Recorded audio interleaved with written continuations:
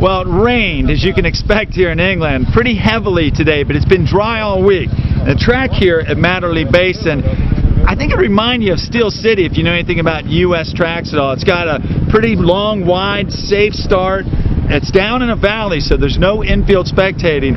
It doesn't look rocky at all. Technically, it doesn't look that hard at all. I mean, I think that any of our A riders back in the States would jump everything first or second lap. Uh, I think it's kind of track the Americans go really fast on. Well, that's going to about do it from the first day here at the Fox Motocross des Nations in Matterley Basin, Winchester, England. We've talked to some of the riders, both American and otherwise, had a look at the track, the press conference, but tomorrow, guys going to get on the track and we'll see what these guys are made of. So please check back throughout the weekend, foxracing.com, coming at you from the 2006 Fox Motocross des Nations. And go Team USA.